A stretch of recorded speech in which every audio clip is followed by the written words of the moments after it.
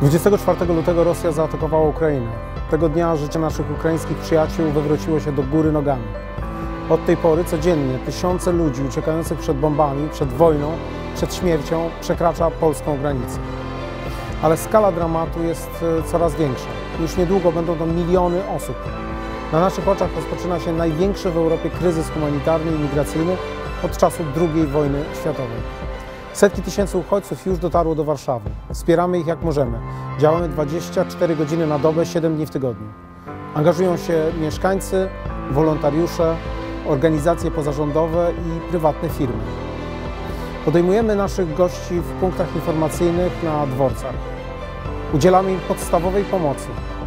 Organizujemy wsparcie medyczne, a także psychologiczne. Zorganizowaliśmy kilkadziesiąt czasowych miejsc pobytu w całej Warszawie. Tworzymy bazę mieszkań miejskich i prywatnych, gdzie znajdują schronienie. Organizujemy zbiórki darów, które dostarczamy do ukraińskich miast, do Lwowa, do Kijowa. Na każdym kroku pokazujemy, że Warszawa jest solidarna. Przyjmujemy naszych ukraińskich gości z otwartymi sercami. Rodzi się też nadzieja.